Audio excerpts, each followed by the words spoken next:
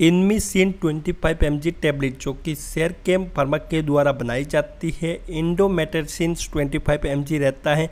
10 गोली का ये पूरा स्ट्रिप रहता है जिसका M R P twenty forty two rupees रहता है। ये टेबलेट जो कि क्या करती है कि बहुत सारे केसेस में यूज़ होती है, जैसे कि ये मॉडुलेटिव पेन में और फीवर में इसको यूज़ किया जाता है। तो इस वीडियो में मैं इसका यूज़र्स बेनिफिट साइड इफ़ेक्ट कैसे यूज़ होता है ड्रग कैसे काम करेगा सेफ्टी एडवाइस क्या रखने का डोज मिस हो जाए तो कैसे लेने का और इसका सब्सिट्यूट कौन कौन सा अवेलेबल है। तो वो सब बातें इस वीडियो में मैं शेयर करूँगा ताकि एमनीसिन twenty five M G tablet के बारे में संपूर्ण जानकारी मिल सके। तो ये वीडियो केवल एजुकेशन पर्पज़ के लिए है। मेडिकल स्टूडेंट और हेल्थ के स्टूडेंट के एजुकेशन पर्पज़ के लिए तो कोई भी मेडिसिन से कोई भी दवाई लेने से पहले डॉक्टर की सलाह ज़रूर ले। तो वीडियो को हम स्टार्ट करते हैं एक छोटा सा इंट्रो के बाद।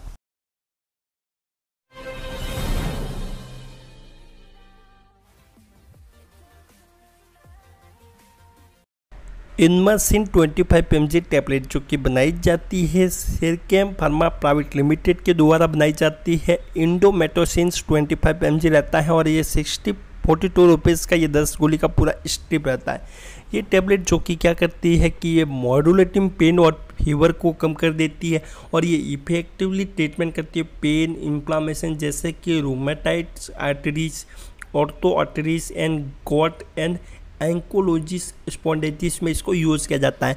तो ये टैबलेट जो कि दर्द को कम करने वाली टैबलेट है। अगर आप इस टैबलेट को ज़्यादा ले रहे हो डॉक्टर की सलाह से नहीं ले रहे हो कंटिन्यूसली ले रहे हो तो साइड इफ़ेक्ट हो सकता है, जैसे कि उल्टी नोजिया डाइजिनेस और आपको ये स्टोमक में पेन वगैरह, ये सब कॉमन साइड इफ़ेक्ट है जगह आपको ज़्यादा लेने से हो सकता है। तो इस टैबलेट का डोज और ड्यूरेशन डॉक्टर की सलाह से ले डॉक्टर जितना डोज और ड्यूरेशन बोले, उतना ले, तोड़ के वगैरह नहीं ले और इसका फिक्स टाइम और फिक्स डोज रखे ताकि बेटर रिज़ल्ट मिलेगा।